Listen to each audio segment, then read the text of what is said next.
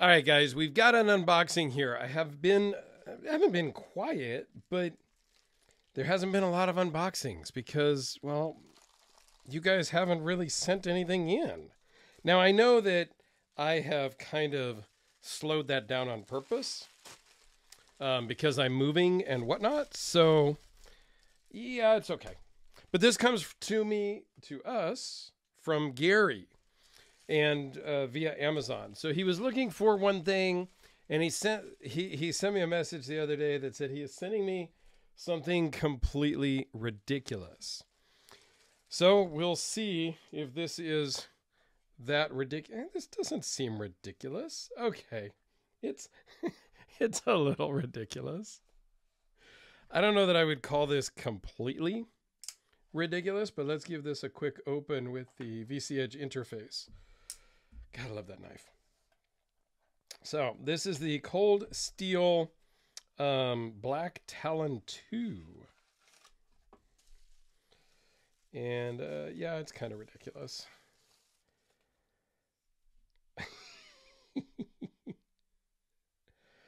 Typical cold steel fashion, big white clip.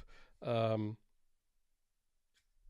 yeah, because it's a backlock, it's going to take a little oomph. It does have that Emerson Wave, I, believe is what you can open that with. We'll have to give that a try. And yeah, interesting. I think it's cool. Um, somebody else that makes something similar ish to this is Spyderco, their uh, civilian model that I've wanted one for so long. I've just never broken down and bought one. Um, but yeah, I, I think this is pretty cool. Let me try it in the pocket real quick and see how that wave feature works. Yeah, so you can absolutely hook this on your pants.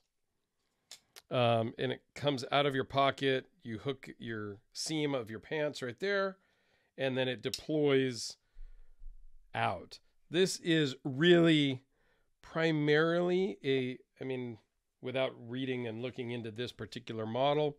The Spyderco Civilian is primarily and strictly for defensive encounters.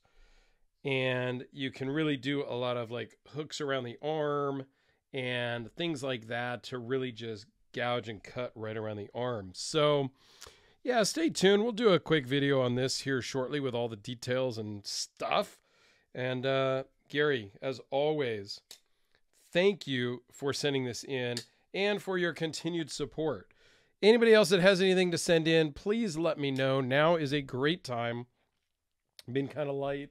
Um, I am getting ready to move shortly, but now is a good time to send stuff. And reach out to me though, so we can talk about timing and which address to send it to, because I'm in, I'm between both places right now. I'm, the main movers are coming later in August, but um, I do go over to the other house every day. Depending on timing, will determine where we send it. So if you got something to loan in, let me know. Garey, as always, again, thank you so, so much for your support. And uh, stay tuned.